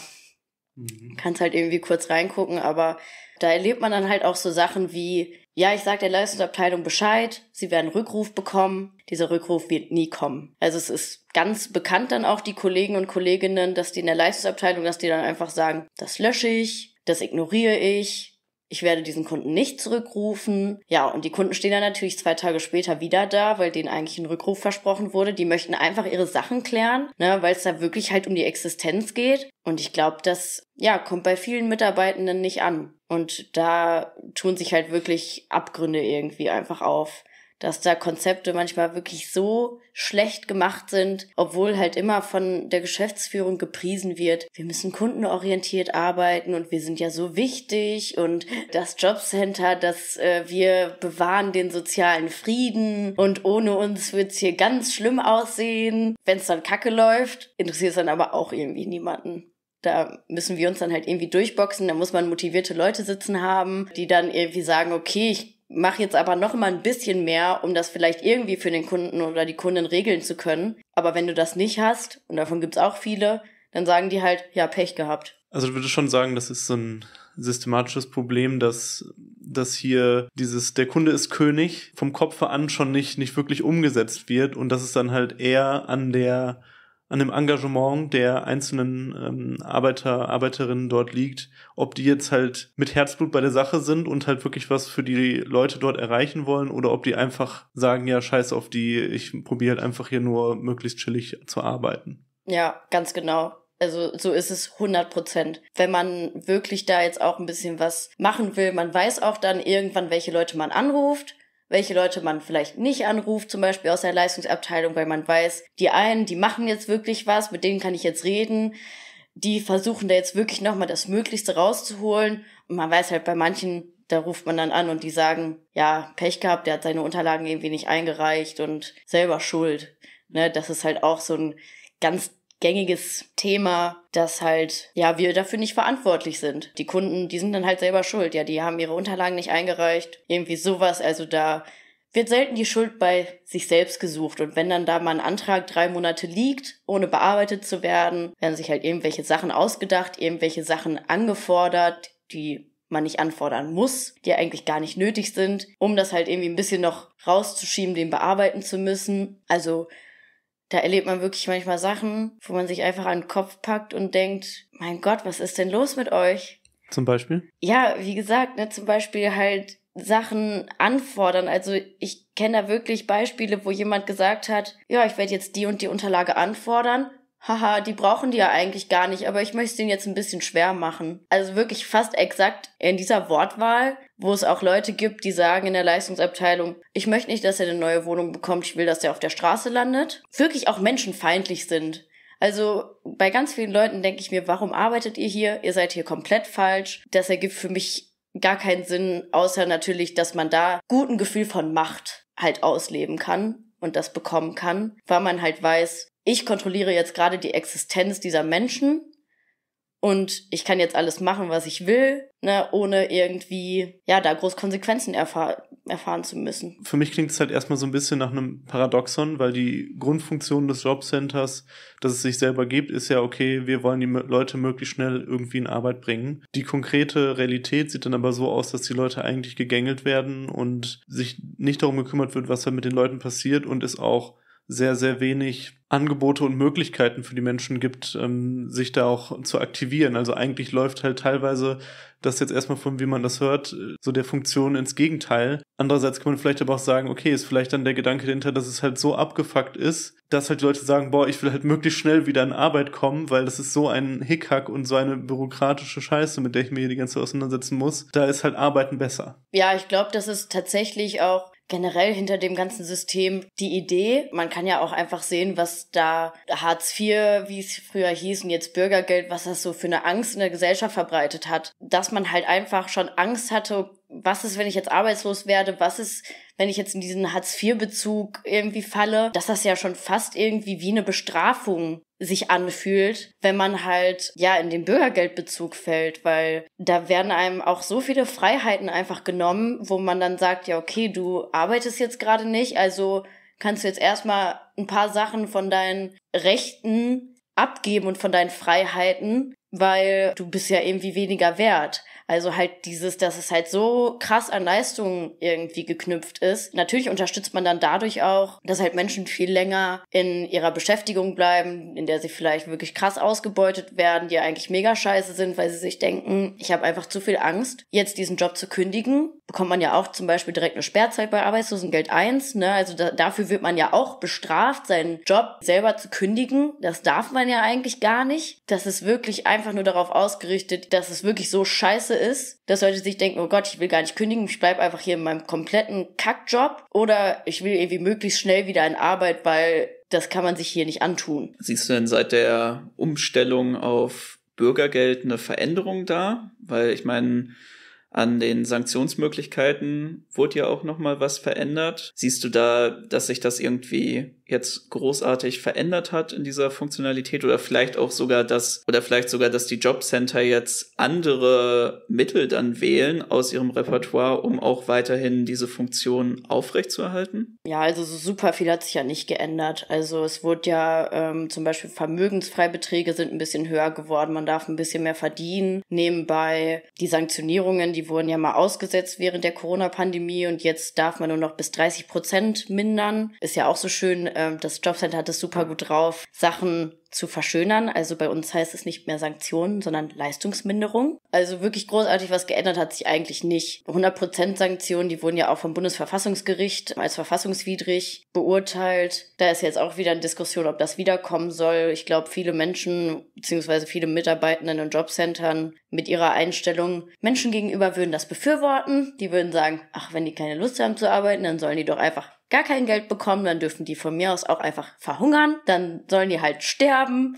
Habe ich auch schon so gehört. Genau so. Manchmal kommt man sich vor wie in so einem Fiebertraum, wenn man da so Sachen hört, irgendwie von Mitarbeitern und Mitarbeiterinnen. Aber das ist dann ja letztendlich genau das Amt, was diese Stigmatisierung in der Gesellschaft auch verdient hat, also was da ja genau reinpasst. Im Prinzip ist ja diese Entwicklung dann eine, ne, die Erwerbslosen ganz unten in der Nahrungskette von der Gesellschaft stehen, auf die man halt herabschaut, auf die man halt herunterblickt mit den diversen RTL-Shows und sonst was, die halt den ganzen öffentlichen Fällen von der bürgerlichen Presse über Deutschlands frechste Arbeitslose und so weiter und so fort, wo man halt eben auch gut nach unten auf äh, diese Menschen treten kann. Und dieses Amt führt ja dann im Prinzip auch so eine Art von Volkszorn eigentlich äh, aus gegen diese Menschen. Und jetzt diese Umtitulierung, jetzt Bürgergeld und solche Geschichten, ist ja eigentlich nur so eine Art Orwellsche äh, Verschleierung der Realitäten dann an der Stelle. Und von der Funktion ändert sich überhaupt nichts. Ja, genau so. Also es wird halt alles ein bisschen verschönert. Es wird halt minimal besser für Kunden und Kundinnen, aber ich würde jetzt nicht sagen, oh Gott, das ist jetzt alles so viel toller für die Leute. Und äh, damit haben wir jetzt einen riesen Fortschritt gemacht, weil so in meinem Arbeitsalltag, also habe ich da gar keinen Unterschied gemerkt. Gar keinen. Außer dass sich halt für uns Sachen verändert haben, wie wir die Leute beraten müssen. Und Arbeitsalltag ist ja auch ein gutes Stichwort. Du hast ja auch einige Fallbeispiele für uns mitgebracht. Dann lass uns da doch mal hören, jetzt wirklich konkret an einem Beispiel. Wie übersetzt sich dann diese Organisation, diese häufig menschenfeindliche Haltung der Angestellten dann in die Praxis mit dem sogenannten Kunden? Ja, also ich glaube, fast mit das größte Problem, was wir da haben, ist Rassismus tatsächlich. Das ist wirklich ganz schlimm. Also Nationalitäten. Sobald die Leute nicht deutsch sind, gibt's tausende Vorurteile. Das ist wirklich gängig. Das habe ich in jedem Jobcenter bis jetzt so erlebt, wo dann halt sogar das so weit geht, dass sowas in die Organisation des Jobcenters mit aufgenommen wird. Es gibt ein Jobcenter, was zum Beispiel, wenn EU-BürgerInnen hier hinkommen und so einen Arbeitnehmerstatus haben, dass die dann zum Beispiel die Fahrtwege, wenn die Kunden und Kundinnen dann angeben, dass sie arbeiten, das wird abgefahren, um zu gucken, ob das denn alles so hinkommt. Und das wird nur für Rumänen und Bulgaren gemacht. Für alle anderen gilt das nicht. Rassistische Aussagen, die vielleicht zum Glück den Kunden und Kundinnen nicht direkt ins Gesicht gesagt werden, aber was so hinter den geschlossenen Türen abgeht, da ist wirklich alles dabei. Eine generelle Pauschalisierung auch von allen Leuten, sobald da eine andere Nationalität im Spiel ist, das ist wirklich so mit das krasseste, was ich da so erlebe. Ich hatte mal eine Situation, da kam eine, eine weiße Frau zu uns mit einem für die Kollegin nicht gut aussprechbaren Nachnamen, der nicht deutsch war. Und die Kundin ist dann gegangen und die Kollegin sagte dann zu mir, wen hat die denn geheiratet? Bestimmt ein Schwarzafrikaner, damit der bleiben kann. Oder dann werden irgendwie so Rundmails geschickt, wenn Leute irgendwie Neuanträge bearbeiten müssen und die von Bulgaren und Bulgarinnen kommen mit bulgarischer Neuantrag. Ich könnte kotzen, was halt niemand interessiert. Warum schickst du so eine Rundmail? Mhm. Es juckt niemanden. Ne, es wird halt immer mit Vorurteilen gehandhabt, also Aussagen wie bei den Vietnamesen wissen die bestimmt auch nicht, von wem welches Kind ist, äh, arbeiten natürlich auch in einem Nagelstudio, was sonst. Ja, das sind ja Rumänen und Bulgaren, die kommen hier hin und arbeiten nie und nee, das geht nicht, guck dir die mal an, wo dann auch angekündigt wird, boah, jetzt rede ich mal ein bisschen extra kompliziert, damit die mich auch bloß nicht verstehen und ich wieder ganz oben stehe und die wieder ganz unten. Und dann natürlich aber noch der Satz dahinter, ich bin ja keine Rassistin, ne? Aber das geht gar nicht. Rassist ist ja niemand. Nein, natürlich nee. nicht. Oder zum Beispiel, dass gesagt wird, dass es bestimmte Bevölkerungsgruppen gäbe, zum Beispiel die Libanesen, die lassen sich ja auch gar nichts sagen von uns und die machen hier, was sie wollen. Das sind jetzt nur so ein paar Beispiele, die ich halt mal irgendwie mitbekommen habe, wo ich auch einfach versucht habe, da das auch mal weiterzugeben, aber da kommt man auch nicht weit. Also mit einer Beschwerde, mhm. da passiert gar nichts. Also da steht die Teamleitung daneben und lacht darüber, weil das ja so lustig ist, wenn man so über Menschen redet. Das ist ja im Endeffekt dann so ein bisschen wie eine Radikalisierung von diesen ganzen Grundproblemen, die wir eigentlich schon in dem Verhältnis jetzt zu euren Kunden, Kundinnen angesprochen haben und generell auch der Sicht auf Arbeitslose. Also, dass es einfach diese Grundskepsis gibt. Eigentlich könnten die Leute arbeiten, wollen aber nicht. Sie gehen bewusst ins Bürgergeld rein, weil das ja so schön ist, weil das alles dieses paradiesische Schlaraffenland ist. Und ich meine, jetzt bei Migranten ist es dann einfach nochmal viel verstärkt, wenn man dann auch dieses Bild hat, was natürlich von den Medien gezeichnet wurde, die kommen doch bewusst hierhin, um sich dann in die soziale Hängematte zu legen, weil es einfach so schön ist. Und das ist ja auch was medial, aber auch politisch wirklich so viel befeuert und ausgeschlachtet wurde. Man denkt an die ganze Berichterstattung um die EU-Osterweiterung mit Rumänien und Bulgarien. Seitdem können wir das ja immer und immer wieder eigentlich genauso hören. Ja, genau. Also das, was sich so in den Medien abspielt äh, und was man dann auch so in der Gesellschaft mitbekommt, genau das erlebt man halt auch komplett im Jobcenter. Das ist dann wirklich eigentlich so ein gutes Beispiel. Ja, so ein Querschnitt der Gesellschaft so ein bisschen. Da hat man natürlich auch sehr korrekte Leute, die da arbeiten, aber man hat halt auch wie gesagt, die Leute, die dann sowas in den Medien lesen, sich natürlich von sowas beeinflussen lassen, davon dann halt auch überzeugt sind. Und ich merke auch einfach, dass der Großteil des Kollegiums ja da immer pauschal schon mal mit einem Vorurteil rangeht, immer erstmal davon ausgeht, die Leute wollen uns verarschen, Die Leute haben keinen Bock zu arbeiten und die, Leute, die kommen hier hin, weil die wollen nur Geld haben. Die wollen hier nicht arbeiten. Also das ist halt wirklich das, so eine Grundeinstellung, mit der die halt an alles rangehen. Ne, und das merkt man dann ja natürlich auch. Das sind dann Gespräche, die man da versucht zu führen mit den Leuten, wo ich das irgendwie auch schon aufgegeben habe, weil da spricht man irgendwie gegen eine Wand, wenn man sagt, hey, ja, aber du weißt doch gar nicht, wie das ist und was in deren Leben passiert ist und wie es jetzt gerade aussieht.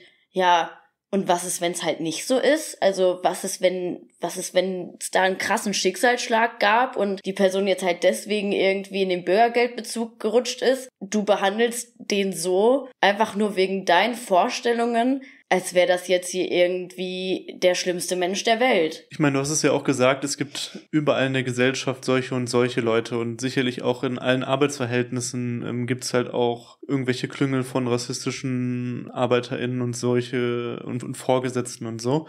Aber ich glaube, was ja nochmal das Spezielle am Jobcenter ist, ist dann, dass halt einfach diese Machtstellung halt existiert. Also es gibt halt eine reale Möglichkeit, für diese Leute unterschiedliche Handlungen anzusetzen und unterschiedliche Menschen und wirklich Macht über sie auszuüben und das Leben von anderen Menschen halt wirklich zu erschweren und zu schädigen. Das macht es, glaube ich, nochmal so, hebt es halt nochmal so heraus. Ja, definitiv. Da mache ich mir dann halt auch immer so Gedanken drüber. Also mehr als die Hälfte der Leute, die gehört da einfach nicht hin. Man weiß dann natürlich auch als Einzelperson, dass man da total machtlos. Das ist auch ein bisschen der Grund, warum ich da auch immer noch arbeite, weil ich irgendwie denke, okay, ich möchte, dass da wenigstens eine Person sitzt, die nicht so denkt und die sich wirklich für alle irgendwie Mühe gibt, die da nicht solche Vorurteile hat, damit es vielleicht wenigstens ein bisschen besser ist und man wenigstens ein paar Leuten wirklich weiterhelfen kann. Aber das ist schon natürlich ein riesen, riesen, riesen Problem, dass halt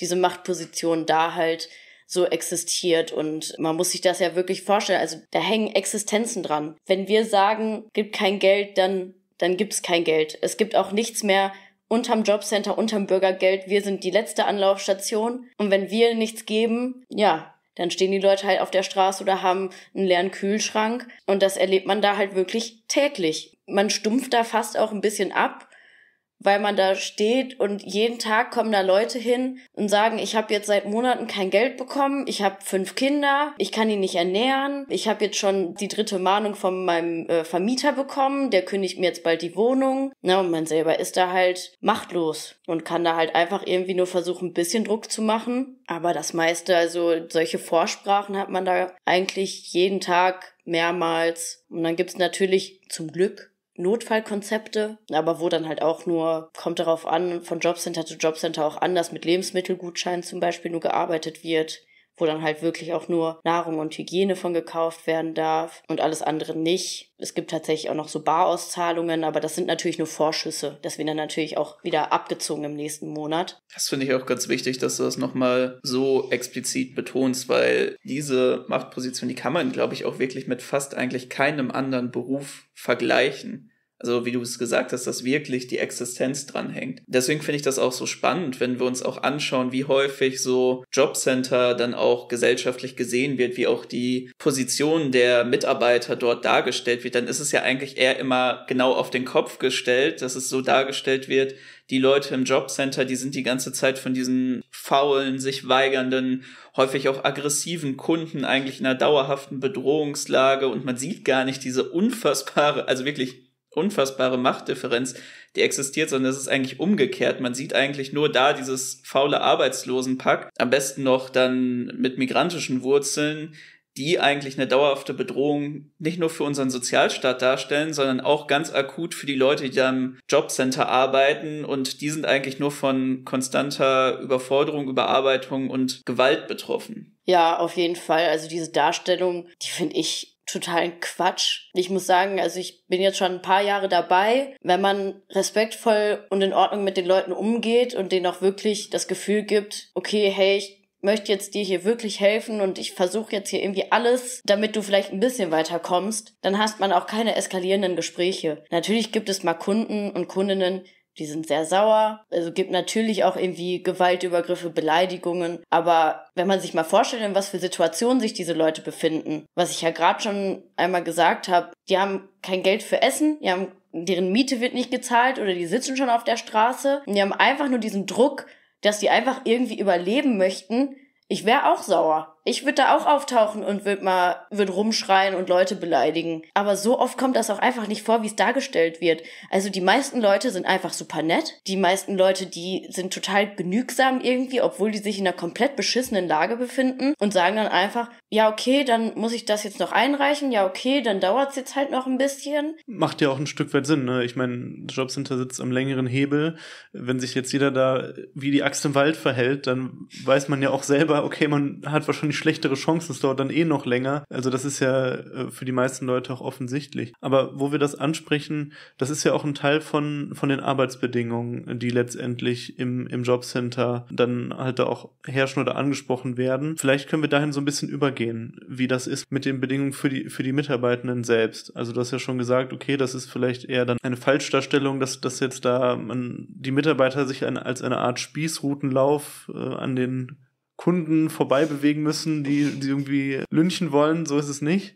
Aber wie kannst du generell so das, die Arbeitsbedingungen beschreiben, wenn man dort arbeitet? Ich glaube, es kommt wirklich darauf an, in welchem Bereich man da arbeitet. Also die Leistungsabteilung, da ist wirklich schon ordentlich viel zu tun. Dann kommt natürlich auch immer irgendwie dazu eine Krankheit, halt ein dauerhafter Ausfall von einer Kollegin oder einem Kollegen. Die haben da wirklich Massen, was die irgendwie bearbeiten müssen, wo die wirklich dann kaum hinterherkommen. Das ist wirklich ein Problem und was ich auch in der Leistungsabteilung einfach vor allem sehe, weil es da halt natürlich am wichtigsten ist, die Leute müssen erstmal das Geld haben. Bevor wir jetzt mal irgendwas anderes machen, die Leute müssen erstmal an ihr Geld kommen. Aber wenn man da halt zu wenige Leute sitzen hat und die nicht hinterherkommen und dann halt so ein Neuantrag, den jemand gestellt hat, da drei Monate erstmal liegt, bevor der erstmal angeguckt wird. Ne, und bevor erstmal Unterlagen angefordert werden, was ja auch 20 Stück sind, die die irgendwie erstmal alle zusammensuchen müssen und abgeben müssen. Und dann fällt den Kollegen ein, ach, da fehlt ja doch noch was. Und dann wird das eingereicht und dann fällt den Kollegen wieder auf, ach, da fehlt ja noch was. Ne? Und so zieht sich halt so eine Bearbeitung. Also wir sagen, wir haben Bearbeitungszeiten von vier bis sechs Wochen. Das aber auch im Optimalfall. Ne? Also und so lange stehen die Leute halt ohne alles da. Also eine Überarbeitung sehe ich da auf jeden Fall. Da, da sind einfach keine Kapazitäten. Da wirklich gut irgendwie durch die Sachen durchzuarbeiten, wie es jetzt so in der Arbeitsvermittlung ist, ist schwer zu sagen. Kommt auch immer aufs Team ein bisschen drauf an. Die haben schon so ihre paar hundert Fälle, die die betreuen. Also eine Person, die für mehrere hundert Leute zuständig ist, da kann man sich vorstellen, da ist nichts mit irgendwie individueller Beratung oder so oder ich nehme jetzt super viel Zeit für dich, um über deine Berufswünsche zu reden, sondern da geht's wirklich einfach nur darum, ja, haben sie sich beworben, hier, sie müssen jetzt auch mal selber machen. Ich schicke ihnen ein paar Stellen zu. Ob das jetzt passt, ob sie da jetzt Bock drauf haben, keine Ahnung. Ich habe hier eine Maßnahme, das Geld muss ja auch irgendwie raus. Wir stecken sie da jetzt rein und da kennt man ja auch so Stories von total abstrusen Maßnahmen, um die Leute halt irgendwie aus der Arbeitslosen Quote zu bekommen und weil man halt auch als Arbeitsvermittler oder Arbeitsvermittlerin Vorgaben hat, wie viele Maßnahmen man vergibt. Also ob das jetzt nötig ist oder nicht, am Ende muss man sagen, ja, ich muss jetzt hier irgendwie noch was vergeben. Also vergebe ich jetzt einfach Quatsch. Was war so das Absurdeste, was du so mitbekommen hast an so einer Maßnahme für eine Person? Aber tatsächlich habe ich das so selber so gar nicht miterlebt, ähm, weil ich ganz lange auch äh, nur so mit Geflüchteten zusammengearbeitet habe. Da gab es halt immer nur Deutschkurse und Sprachkurse, Integrationskurse als erstes. Ähm, aber man kennt das ja schon so ein bisschen auch aus den Medien, wo Leute dann zum Stricken irgendwie...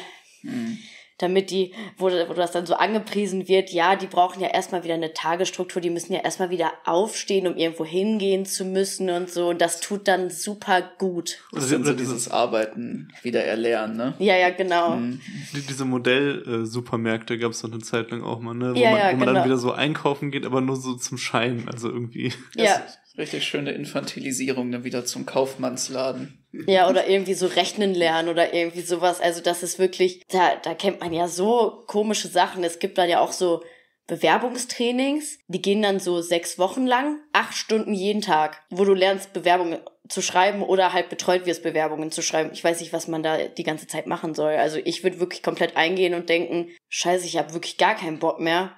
Aber wenn ich diese Maßnahme jetzt schmeiße, dann kriege ich eine Sanktion oder dann wird mir irgendwie mein Geld gemindert. Kann man gar nichts mehr zu sagen. Aber den Gedanken, den ich direkt habe, um nochmal auf das einzugehen, was du so zu den Arbeitsbedingungen beschrieben hast, also auch mit der Überarbeitung dabei, das wirkt ja wieder wie so ein klassischer Fall von starker Stress im Beruf, sehr, sehr viel, was zu tun ist. Und die einfachsten Leute, auf denen das dann abgeladen werden kann, sind eben bei euch die Kunden. Nur, dass es halt nochmal natürlich was anderes ist, wenn ich jetzt beispielsweise in einem stressigen Beruf irgendwo in der Gastro oder so arbeite oder eigentlich in fast allen anderen Berufen auch, dann kann ich das natürlich nicht machen, weil am Ende kriege ich erstens einen auf den Deckel von der Geschäftsführung oder vom Manager und zweitens natürlich auch, weil es die Kunden verscheuchen wird. So. Aber bei euch ist es ja so, die Leute sind ja an euch gebunden, die können ja gar nicht anders weil sie eben sonst auf der Straße landen, nichts mehr zu fressen haben. Und deswegen ist das ja natürlich nochmal was ganz anderes. Und dieses Ausgeliefertsein, das kann man ja, wenn überhaupt, vielleicht nochmal irgendwie mit ähm, Pflegeberufen oder so vergleichen, wo es dann auch mal diese Fälle gab. Aber auch da herrscht ja dann trotzdem wieder ein anderes Klima bei der Überarbeitung, weil die Leute, die da reingehen, ja wirklich primär auch diesen Anspruch haben von, ich möchte den Leuten helfen. Und das klingt für mich wirklich wie eine unfassbar gefährliche Mischung dann was das für die Leute am Ende bedeutet. Und was natürlich auch wieder so ein Fall ist, wo es so unfassbar schade ist, weil einfach nur auf die Kunden bei euch dann draufzuhauen, die Leute, die von euch abhängig sind, das bringt ja niemanden in diesen Strukturen was. Das macht ja teilweise sogar den Beruf, wie du es auch angesprochen hast, eigentlich noch schlimmer, wenn wir dann über so ähm, Gewalttaten oder so reden oder dass die Leute selber stinkig sind, sondern eigentlich haben ja wieder auch in dem Fall sowohl die Leute, die auf euch angewiesen sind, als auch die, die im Jobcenter arbeiten, die gleiche Person, die für die Misere verantwortlich ist. Das sind die Leute eben an der Spitze. Oder um das noch zu ergänzen, was ich auch geil eigentlich daran finde, ist, dass ja, wenn ich halt gegen die Kunden halt davor gehe und halt irgendwie das alles in die Länge ziehe und die halt gängel und so, dann sorgt es ja im Prinzip nur für mehr Arbeit auf Dauer für mich selbst oder meine Kollegen. Ich weiß nicht, manchmal höre ich schon auf, irgendwie versuchen, dann Sinn drin zu sehen. Ich weiß manchmal wirklich nicht, was irgendwie das Problem von Leuten ist da oder was die, was für Ziele die da verfolgen, weil, wie gesagt, wenn man einfach nett und freundlich mit den Leuten redet, dann sind die in den aller, allermeisten Fällen auch nett und freundlich zu einem selbst. Ja, das sind alles ja keine bösen Menschen, die da hinkommen oder so. Aber ich glaube einfach, dieses Machtgefühl äh, und dieses Machtgefühl auch irgendwie auszunutzen und äh, sich Situationen zu schaffen, wo man sich halt sehr überlegen fühlen kann, herrscht unterbewusst bei ganz, ganz vielen Leuten da. Also das merkt man auch, wenn man sich so privat ein bisschen mit denen unterhält. Das ist dann immer so, ja, ich bin ja hier die, die arbeitet. Du schaffst gar nichts und du bist einfach, du bist hier der Arbeitslose und du möchtest jetzt etwas von mir. Also mach mal schön alles, was ich dir sage, sozusagen. Ne? Wo man das dann ja auch gut findet, dass die so wenig Privilegien irgendwie haben, dass denen, dass so, dass den Freiheiten weggenommen wird, weil das ist ja nur eine Grundsicherung. Man soll sich darauf ja nicht ausruhen. Ne? Das, das wäre ja hm. schrecklich. Und das soll man nicht machen. Und deswegen ist das auch alles total okay, wie das jetzt läuft. Es soll ja nicht so für lange sein. Es ist ja nicht so gedacht. Ne, das soll ja wirklich nur, also ja, du kannst äh, nur in einer mega günstigen Wohnung wohnen, versuch die mal zu finden. Jeden Monat gibt es zwei Euro für Bildung, die da eingeteilt sind. Ja, aber was ich dann dazu gehört habe, war, ja, Bildung ist ja eigentlich kostenlos. Die Schule ist kostenlos. Die Bücher kriegt man dafür ja meistens auch. Und das ist dann total okay für die Leute. Also ich glaube, dieses Machtgefühl und dieses, ich habe hier jemanden, der irgendwie schlechter dran ist als ich, herrscht da schon wirklich sehr, sehr viel. Ob es jetzt bewusst ist oder unterbewusst. Ich finde das auch echt immer krass. Das ist auch sowas, was ich schon von so vielen Leuten gehört habe, was ja auch in der öffentlichen Meinung immer wieder genauso gesagt wird, dass man den Leuten auch wirklich nur das Mindeste gönnt. Dass es immer darum geht, jedes bisschen, was so über das absolute Mindestmaß von einfach nur Existenzerhaltung ist schon ein riesiges Sakrileg, ist eigentlich so ein absoluter Verrat an dem Sozialstaat, dass den Leuten irgendwie nur ein bisschen mehr gegönnt wird als das absolut Mindeste. Was mich nochmal interessieren würde, okay, wir haben jetzt gelernt, das Verhältnis ähm, von den Arbeiter HändlerInnen dort zu den äh, sogenannten Kunden ist ein, ein schwieriges. Ist dann zumindestens das Verhältnis untereinander zwischen den Menschen, die im Software Center arbeiten, total super, weil ich meine, am Ende des Tages auch die, die Menschen, die, auch wenn es da viele Missstände gibt, sind ja auch Arbeiter, Arbeiterinnen, die ähm, wahrscheinlich, das kannst du ja auch noch mal was dazu sagen, jetzt auch nicht die Welt verdienen am Ende des Tages und wenn man es dann realistisch betrachtet, auch nur ein, zwei Stufen über, über den Leuten stehen, die dort angewiesen sind auf die Hilfe vom Jobcenter. Ist das Arbeitsklima mega toll und alle sind total super miteinander? Tatsächlich meistens schon. Also ich habe, natürlich gibt's auch irgendwie mal so diesen ganzen Büroklatsch und so und dann gibt's mal irgendwie ein paar Zickereien und hier wird was erzählt und da wird was erzählt, aber ich habe richtig gute Erfahrungen gemacht. Also wenn man da mal so ein bisschen deren Ansichten irgendwie ausblendet, was halt meistens sehr schwierig ist, aber ich habe auch wirklich mit menschlich super netten Leuten, mit denen ich super gut klargekommen bin, zusammengearbeitet. Habe mich auch oft einfach sehr wohl gefühlt, wenn es nicht um bestimmte Thematiken ging. Also das ist da wirklich immer so das Hauptproblem. Aber äh, wo ich mir dann natürlich auch den Arbeitsalltag jetzt nicht so viel schwerer machen möchte, als, als er sein muss, ich werde mich da jetzt nicht auf jede Diskussion irgendwie einlassen. Ich möchte auch nur meine Arbeit verrichten und dann am Ende wieder gehen und da keinen großen Stress mit irgendjemandem haben. Und dann kommt man auch ganz gut mit den Leuten klar. Also das meiste ist da wirklich, dass man da schon auch irgendwie so einen Zusammenhalt hat. Ja, und irgendwie glaube ich auch dieses Denken hat, so ja, wir sitzen hier jetzt alle in dem gleichen Boot und gegen die BürgergeldbezieherInnen halten wir jetzt zusammen und was weiß ich nicht, aber so das Arbeitsklima ist eigentlich richtig super. Ich habe wenig super Schlechtes erlebt. Also das meistens wirklich top. Ich meine, das ist natürlich jetzt ein, eine sehr schlechte Art von Organisierung in dem Sinne von wir gegen die als Arbeiter. Wie nimmst du das denn wahr, wie einmal die Geschäftsführung bei euch wahrgenommen wird und auch wie vielleicht dann man sich selber so im Verhältnis zu den politischen Entscheidungen darum sieht. Gibt es da auch Solidarität untereinander und äh, Stunk vielleicht dann in dem Fall jetzt mal gegen die da oben? Ja, schon auf jeden Fall. Also, beziehungsweise ich glaube, viele haben es ein bisschen aufgegeben, weil man da auch einfach nicht weit kommt. Vor allem wird sich dann halt natürlich darüber aufgeregt, was da oben irgendwie entschieden wird. Und ja, wir haben jetzt dieses Konzept und das machen wir jetzt so und wir sagen, ey, das funktioniert überhaupt nicht. Aber damit kommt man halt nicht weit. Das geht sogar zum Beispiel, also das geht wirklich gut klar, dass da auch da ein Zusammenhalt ist, wenn es um sowas geht. Natürlich kommt das auch immer so von Mensch zu Mensch, von Team zu Team darauf an. Ich habe selber mal erlebt, eine super beschissene Führungskraft zu haben und da haben wir alle zusammengehalten. Also, ne, die auch irgendwie dann die Führungskraft versucht hat, irgendwie einen so gegen den anderen, die anderen auszuspielen und so, und wo wir gesagt haben, nee, das machen wir hier nicht. Das kannst du schön irgendwie selber ansprechen, aber niemand von uns wird das jetzt hier machen. Also da erlebe ich das schon die meiste Zeit, dass sich natürlich super viel auch aufgeregt wird über die höheren Etagen, aber man muss auch einfach sagen, man hat da eigentlich gar keinen Bezug zu. Also die nächste Führungskraft, die das ist, das sind die Teamleiter. Mit denen ist man meistens eigentlich auch ganz gut. Mit denen kann man viel regeln, aber es sind dann auch keine Leute, die da viel entscheiden, sondern also von der Geschäftsführung oder so bekommt man eigentlich gar nichts mit, außer dass die vielleicht mal an einem vorbeilaufen und man Hallo sagt. Das ist jetzt nicht irgendwie so ein nahes Verhältnis oder so. Ähm, und wo wir dann, glaube ich, auch kaum bis wirklich gar keine Möglichkeiten sehen, da irgendwie Einfluss drauf zu nehmen, wie das alles ablaufen soll. Also was ich ziemlich spannend an dieser, an dieser ganzen Frage und an diesem ganzen Verhältnis finde,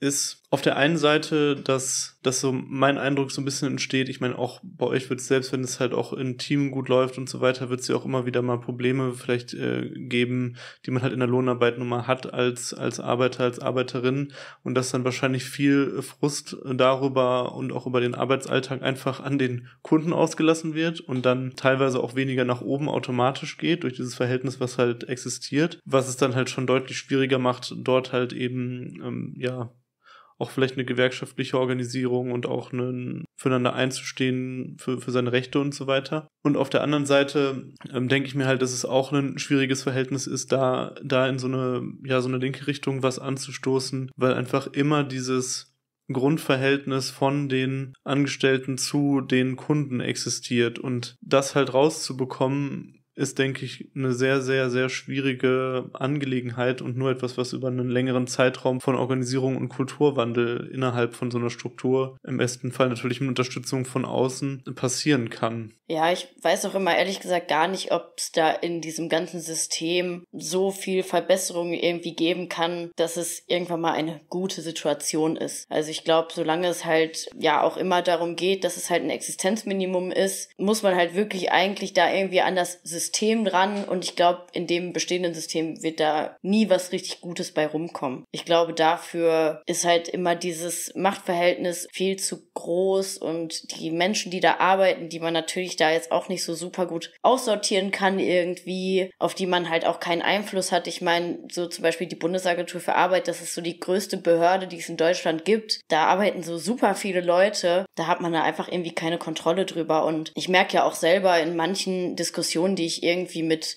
Kollegen und Kolleginnen führe, dass da ja natürlich auch deren ja, Gedanken so festgefahren sind und deren Vorstellungen irgendwie, dass da wenig irgendwie zu machen ist. Aber wir haben zum Beispiel auch eigentlich immer relativ was ich jetzt immer so mitbekommen habe, relativ stabile Personalräte, die dann da auch relativ gut für uns einstehen und wo man sich natürlich auch mit einbringen kann. Und wir werden ja auch nach Tarifvertrag äh, bezahlt und der wird auch also gut gestreikt und da machen auch immer gut Leute mit. Also das ist schon, bin ich manchmal mal ein bisschen überrascht, dass das da alles so gut funktioniert. Ja. Hm. Okay, also dann in dem Bereich, ähm, was halt so Streiks und so weiter angeht, gibt es dann also da doch vorhandene Strukturen und Möglichkeiten. Trotzdem finde ich das Ganze so ein bisschen vergleichbar auch mit dem, was jetzt ähm, ist natürlich ein ganz anderes Feld, aber für den 80ern gab es ja auch von der Linken aus gesehen äh, dann relevante Teilnahmen an Bundeswehrstrukturen, wo man, sag ich mal, Linke in einen Bereich hineingehen, den sie eigentlich von, vom Grund her ablehnen, also wie auch so ein Jobcenter an sich, wie von seiner Funktion her in der Gesellschaft, aber eben auf der einen Seite individuell etwas äh, verändern können, aber sie natürlich auch, wenn sie wenn wir an Bedeutung gewinnen in solchen Bereichen und auch ja Organisierung dort dort machen und, und strategisch überlegen, wie wir uns dann auch besser aufstellen können, können wir natürlich auch wirklich gesellschaftliche Macht in solchen Bereichen erwirken. Und ich verstehe schon, dass es vielleicht aus so einer individuellen Perspektive da erstmal ja, weil weil es auch sowas gerade gar nicht gibt im, im Jobcenter-Bereich, äh, schwierig ist das so zu denken, aber trotzdem denke ich, dass es an und für sich möglich wäre, wenn man jetzt halt größere Kreise von von Linken, die im Jobcenter arbeiten, sich halt zusammen organisiert, auch so eine rechte Hegemonie die halt von diesem Grunddiskurs halt existiert, zumindest in einigen Jobcentern auch zurückdrängen könnte. Ja, also ich glaube, da müsste da schon ordentlich was passieren. Das müsste schon in wirklich einem großen Maße irgendwie eingenommen werden und ich sehe das auch definitiv so, dass man da dann schon in dem herrschenden System jetzt es auf jeden Fall besser machen könnte. Also es wird halt trotzdem scheiße bleiben, weil es halt nicht cool ist und es ist viel zu wenig Geld und ne, das ganze System drumherum, was unser Gesetzgeber sich so ausgedacht hat, ist halt einfach super beschissen. Aber ich glaube schon, dass man natürlich mit den richtigen Leuten an den richtigen Stellen da eine Verbesserung auf jeden Fall bewirken könnte. Ja, mir war das nur nochmal wichtig, das auch wirklich nochmal zu betonen, weil ich finde, das ist innerhalb der Linken so ein bisschen verloren gegangen, diese Überlegungen in Bereichen auch zu arbeiten und dann halt aber auch zu kämpfen, die wir halt eigentlich so grundsätzlich ablehnen und vielleicht wird es auch jetzt ein paar Leute in Kommentaren geben, die halt sagen, ja, wie kannst du denn da arbeiten, wenn da alles so schlimm ist und so weiter und so fort. Aber auf der einen Seite müssen wir alle von irgendetwas leben, müssen uns alle irgendwie auch selber verkaufen, um vernünftig über die Runden zu kommen. Und auf der anderen Seite kann man eben Unterschied machen, was man ja in deinem Beispiel sieht. Und könnte man auch einen größeren Unterschied machen, wenn man auch in diesen Bereichen ähm, wieder stärker ähm, sich als Linke sieht und dafür Strategien entwickelt, wie man sowas auch von innen heraus, ohne jetzt den großen Marsch durch die Institutionen, bla bla, ähm, zu machen. Ja, und das ist natürlich auch ein grundlegendes Problem, dass die paar Leute, die dann vielleicht diesen Grundstein legen könnten, eigentlich dann auch von der Linken immer nur Abneigung gegenübergebracht wird. Und das ist ja auch was, was wir, wie du es schon angesprochen hast, jetzt auch mit der Bundeswehr beispielsweise als Institution auch schon selber in der politischen Praxis erfahren haben. Aber auch wenn es um Leute, die beispielsweise jetzt im Sicherheitsbereich arbeiten. Und das ist ja das, was so schade ist, weil wenn wir wirklich jetzt mal von unserem jetzigen Zustand als Szene darauf schauen, wie es sein müsste, wieder als Bewegung zu sein, das ist ja auch, wenn wir uns das historisch angucken, das war immer mit allen Teilen der Gesellschaft zusammengewirkt. Selbst denen, die in denen wirklich auch ähm, repressiv arbeitenden staatlichen Strukturen drin waren. Und deswegen finde ich das auch so wichtig, dass wir da einfach genau dieses andere Verhältnis wieder zu entwickeln, den Leuten einfach da offen gegenüberstehen, auch aus den ganzen Gründen, die du gerade nochmal genannt hast, weil dann können wir wirklich auch genau das versuchen, nicht nur die Verbesserung in den Strukturen im Jetzt umzusetzen, sondern auch auf die Zukunft hinaus zu wirken, dass wirklich gesamtgesellschaftlich revolutionär gearbeitet werden kann. Deswegen auch nochmal danke dir, Lia. Einmal, dass du heute da warst, aber auch, dass du diesen Grundstein dann im Jobcenter legst. Ja, danke, dass ich hier sein durfte. Wir sehen und hören uns bald wieder. Glück auf. Glück auf. Glück auf. ich so schnell weg von hier. Wenn du denkst, dass linke, libertäre oder anarchistische Positionen eine stärkere Stimme brauchen, dann überlege, uns zu unterstützen. Das kannst du ganz einfach machen, indem du diese Folge verbreitest. Packe uns auf deinen Social Media Kanal, erzähl deinen Freundinnen von unserem Projekt, von unserem Podcast, von unseren Videos. Wenn du noch einen Schritt weiter gehen willst, dann unterstütze uns doch einmalig über PayPal oder werde zum Übertage Ultra und komm in unsere Kofi und Patreon Community. Denn deine Hilfe ermöglicht dieses Projekt. Außerdem sind wir bei der Vorbereitung dieser Folge noch auf ein paar spannende Sachen gestoßen, die sich ebenfalls mit dem heutigen Thema auseinandersetzen.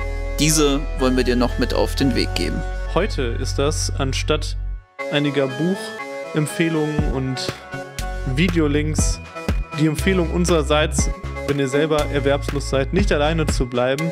Sucht euch Hilfe, geht zusammen zu den Amtsterminen, sucht eure lokale Sozialberatung auf. Auch in Dortmund gibt es zum Beispiel bei uns im Unionsalon, aber auch im Black Pitch und an anderen Stellen Hilfe von Genossinnen für Menschen im Arbeitslosengeldbezug oder wenn es in eurer Stadt bisher keine Sozialberatung gibt, baut doch eine solche auf und erweitert so das soziale Netz von links und unten. Das nächste Mal bei Übertage hört ihr uns übernächsten Sonntag und wir sehen euch im Livestream am Mittwoch.